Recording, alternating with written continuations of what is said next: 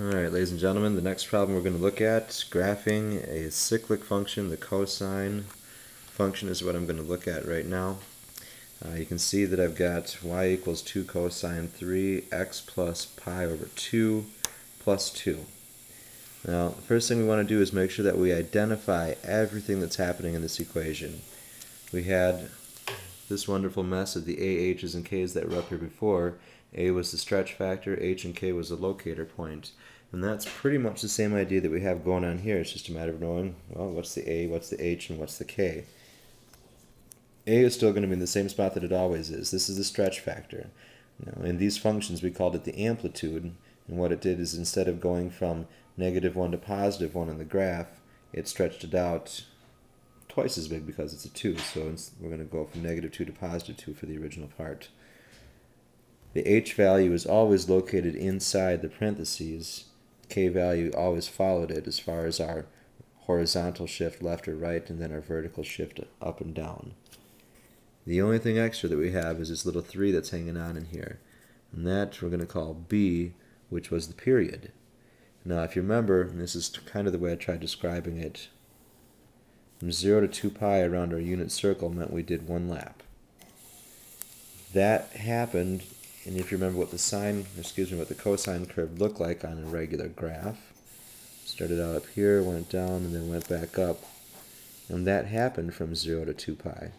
So there's a definite relationship to the one time around the circle, and then y equals cosine x, where we just go down, up, and then going from up to down to back up. Now, what this 3 does is that it says we've got to do that up-down movement three times over this 0 to 2 pi motion. So one lap around the circle involves us going down, up, down, up, down, up, so that we actually have three of those things happening instead of just one. So let's see if we can't try to get that rough sketch on here fairly well. If I were just looking at y equals cosine 3x, if you plug that into your calculator, you would see that it would start out here at 1 and go down to negative 1, up, down, up, down, and up, and have three of those periods happen between 0 and 2 pi. Now the reason I'm not putting a point down yet is because I do have a little bit of a horizontal shift, pi halves. So instead of me starting out here on the x-axis, I'm going to have to move it. Um, it's a plus pi halves, which means it's a negative movement of that pi half. So this is going to be where I'm going to start that cosine function. Now, keep in mind I want to go 2 pi from here, so I've got a negative pi half, back to 0, positive pi half, pi, 3 pi halves. That's going to be where I want to finish up this curve at, or at least draw the end of what one cycle is going to look like. Again, I'm stretching it from negative 1 to positive 1, we're stretching it out to negative 2 to positive 2.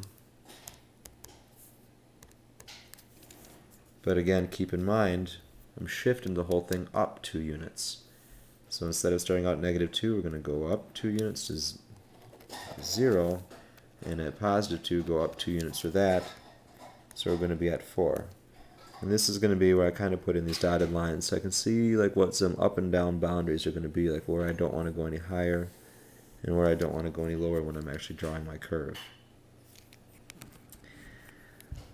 So I've got my up-down adjustment made. I've shifted back that value. And remembering cosine starts out on the top, makes its way down, back up, down, back up, so on and so on. But I want to make sure that I finish here. So I'm going to kind of even draw myself a bit of a rectangle to see exactly where this is going to go. And this is going to work too when you plug this into your calculator because you can easily set your x min, x max, y min, and y max to be what I have here in this little rectangle. And in doing so, I can see exactly what the function is supposed to look like, you know, based on what the calculator is going to tell me. So I've got my h shift, I've got my k shift. I know that it starts out on top for cosine as opposed to starting in the middle. I'm going to kind of give myself, uh, well, I have to break this into thirds because I've got three different rotations happening. So I'm going to kind of give myself a couple of rectangles in here. Makes me see that it's going to come down.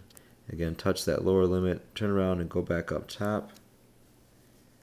Hit the top, go down, touch the lower limit, back up top.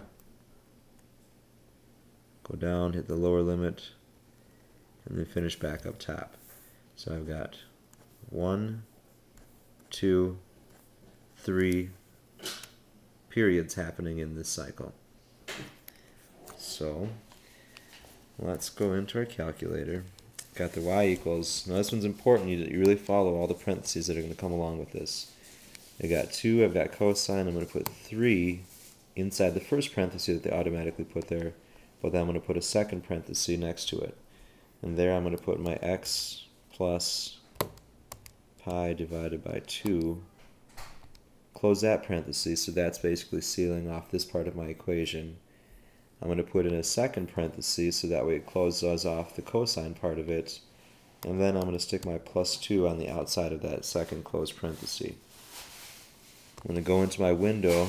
Said the x min, where we want to start this at, is going to be negative 2 divided by pi. Excuse me, negative pi divided by 2. x max that's the reason why I picked the pi divided by 2, the negative, and the x max I want over here at the 3 pi over 2. So 3 pi divided by 2.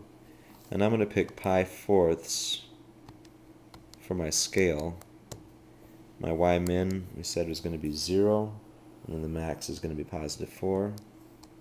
And we'll do up a scale by 1. Now the only other thing that I have to worry about is going into my mode and making sure that I'm in radian mode. If I'm not in radian, if it's over here in degree mode, then that's going to make this graph look really funky. Not that it won't look screwy the way it is, but as soon as I hit graph, it should look fairly similar to what we have here on the table. It's up, down, up, down for the third, and then right back up. So, let's see pretty close resemblance between what I've drawn for my curve and what the calculator says for its curve. I think the only thing that we really didn't talk about in class would be to give ourselves this little box thing in here, but uh, after our conics discussion with hyperbolas, that should be something you're fairly comfortable with at this point. We'll talk more about this in class. Have a nice evening.